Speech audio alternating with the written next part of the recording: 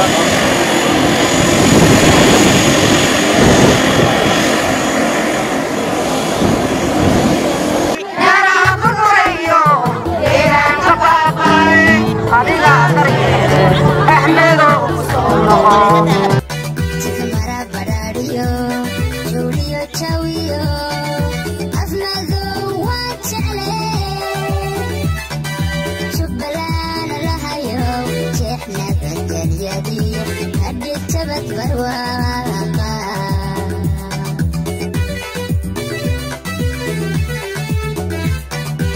sochirero Chintadine sramkiyo Dakkan dadka ubuchi haysiyo Ummada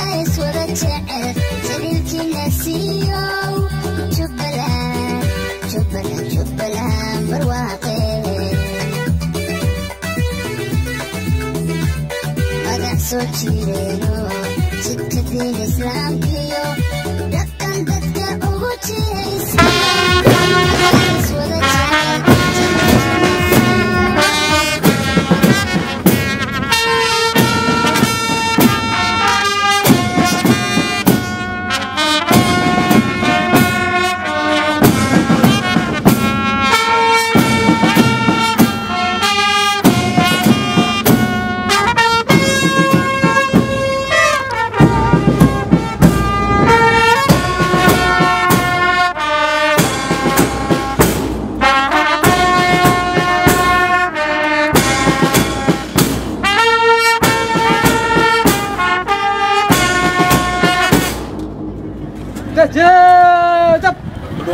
magacaygu waa khadiijo axmed ibraahin ahna gudoomiye ku-xigeenka degmada ururka haweenka. Waxaan maanta qoraxdan u taaganahay oo saaka labaiyo tobankii aan u imaanay inaan soo dhoweyno madaxweyne axmed maxamed islaam. Waxaan leenahay madaxweyne oo ku soo dhowow jubbaland. Waa meeshaadii waa lagaa jecelya waxaanoo dad meeshan taagan waxay u taagan yihiin inay ku soo dhoweeyaan. Waxaan leenahay waadna anfacdeen mar labaad iyo mar saddexaad. Iyo mar afraad soo laaba mudan madaxweyne. waa maalin aad qaali u ammaanta waxaan soo dhowaynaynaa madaxweynihii dowlad goboleedka jubbaland mudane axmed maxamed islaam. Ha guulaystaan leen insha allah guul maanta waa maalin guula waa maalin magac noole waa maalin taariikhda geli doonta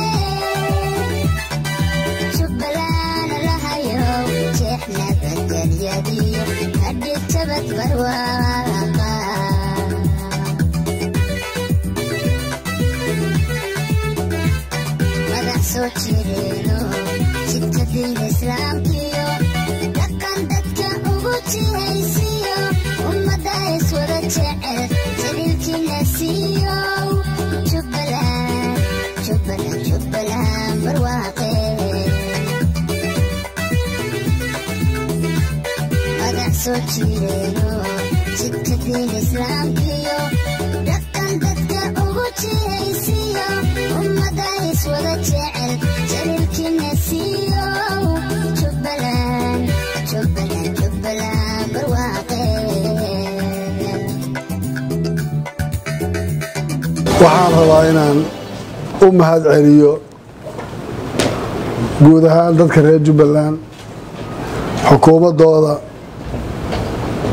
shacabkooda baarlamaankooda odayaasha dhaqanka iyo qaybaha kala duwan ee bulshada rayidka ah.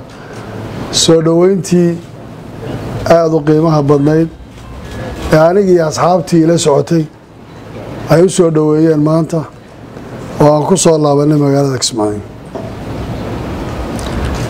Mahadnaq kadib waxaan jiray safar kooban oo aan ku gaadhay waddankan deriska nahay kenya iyadoo intii aan joogay aan kulamo kala duwan la yeeshay qaar ka mida beesha caalamka dadka soomaaliyeed ee degan halkaas oo ay ka mid ahaan odayaasha dhaqanka ganacsatada iyo dhallinyarada.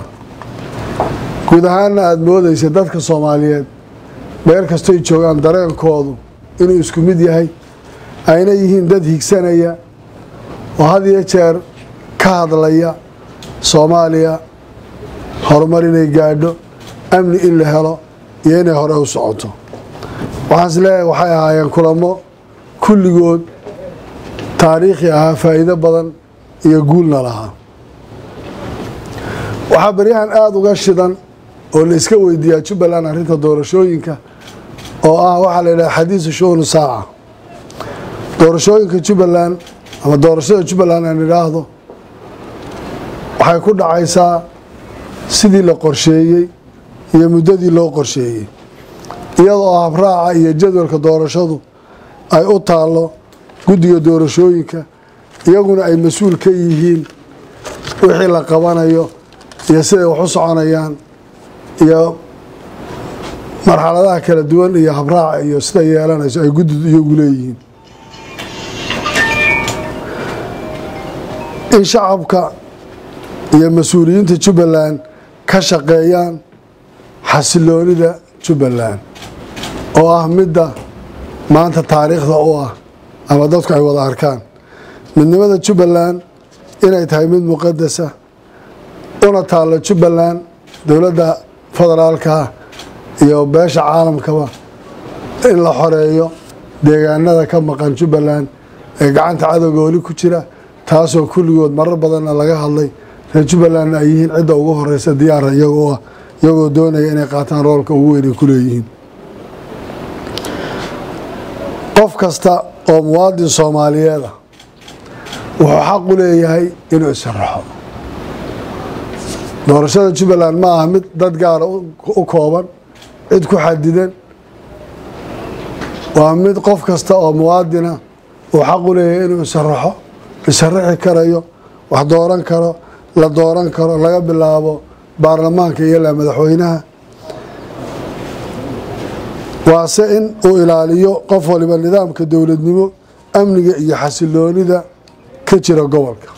Yani qof kasta oo musharaxa waxay dantu ku jirtaa inuu ilaaliyo habka dowladnimo ee la soo maray iyo xaaladda taalla iyo nidaamka jira inuu ilaaliyo. Taasi waxay u tahay qof walba wax wanaaga sababtoo qof kasta ama xildhibaan noqonaya ama madaxweyne isu sharaxaya ama mas'uuliyad kala qabanaya wuxuu wax ku noqonaya ama wax ku yahay inuu wanaaggaa jiray iyo meeshuu maraya ka sii bilaabo. Iyadoo la ilaalinayo mabaadida ay jubbaland ku dhisan tahay oo ah dib u heshiisiin midnimo iyo wadajir ummadda soomaaliyeed. Waa asaaska ay jubbaland ku dhisan tahay. Waxaan ognahay jubbaland dadaal dheer bay soo martay dib u heshiisiineed. Marka laga soo tago dagaalkii shabaab deegaanada lagaga xoreeyey kaasoo keenay in maanta dadku sidaad aragtay ay ku wada nool yihiin noloshoodu sidaad aragtay ay yihiin isbeddelka ku yimid ayna maanta jirin wax colaad qabiil isku dhacyo beeleed ama dhibaato kale oo maanta dhexdooda ka taagan. In la wada ilaaliyaay waa mid shacabka reer jubbaland u taala. Waxaan ku ammaanayaa shacabka reer jubbaland inay yihiin dad iyagu maanta gacantooda kula yimid waxa ay ku jiraan oo ka shaqeeyey oo amniga iyo wada noolaanshaha iyo bulshada waxa ka dhexeeya ay iyagu yihiin waxa ka shaqaynin haddii ayna bulshadu ka shaqaynin lama gaadheen middaas. Waxaan rabaa inaan mar saddexaad iyo mar labaad iyo intaba ku celiyo amniga inaan ka wada shaqaynayo inay tahay waxa inoogu wanaagsan. Aad baad u mahadsantihiin. Waxaan rajaynayaa inaan shaqo fiican inoo taallo ilaahay waxaan ka baryayaa gugaana inuu si fiican loogu sii wada dacsiiyo ina tuso iyadoo doorashadaasi nabad inoogu dhacday. Midnimadan ay muqadasta oo la ilaaliyey. Aan hormuud u noqonno iyo tusaale soomaaliya maanta meeshay u soconaysiya siday tahay. Aad baad u mahadsantihi salamu calaykum waraxmatullahi